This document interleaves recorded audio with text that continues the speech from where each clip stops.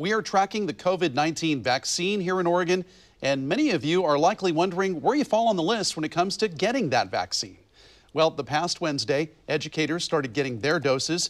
Now seniors are just days away from being eligible too. That's right. Fox 12's Kendra Kent has much more on the timeline and what we can expect next and joins us now live. Kendra?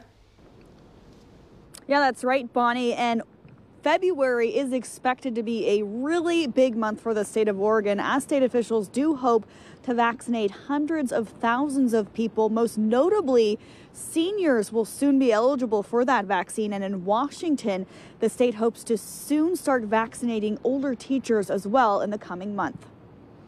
It's the biggest round of COVID 19 vaccine eligibility yet. In the month of February, nearly 1 million Oregonians could roll up their sleeves if they so choose.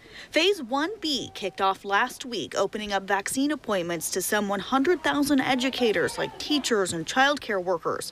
It's a push from Governor Kate Brown to get students back in the classroom.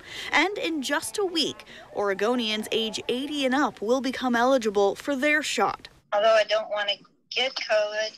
I'm just not sure about the vaccine. 86 year old Danita Benson lives in Woodburn and wants to learn a little bit more about the vaccine before she decides whether to get it. I'm not going to say no, I won't have it, but I just want to know a little bit more about it, what my doctor feels, you know, about it.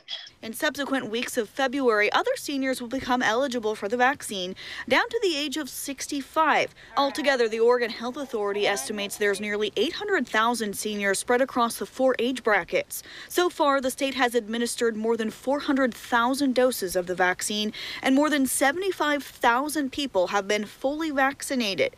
OHA says about 5% of Oregon's population has received at least one dose of the vaccine. Meanwhile, Washington state is slightly ahead on its vaccination rate. According to state data, about 8% of the population has received at least one vaccine dose. The state has administered more than 600,000 doses. In Washington, the vaccine is available to anyone 65 years and older, as well as those 50 and older living in multi generational households.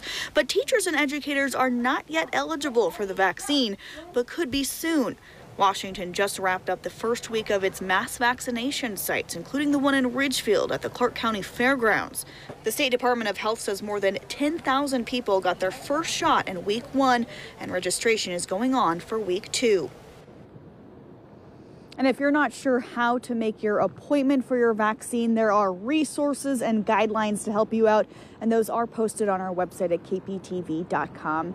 Reporting live tonight in North Portland, Kendra Kent, Fox 12 Oregon.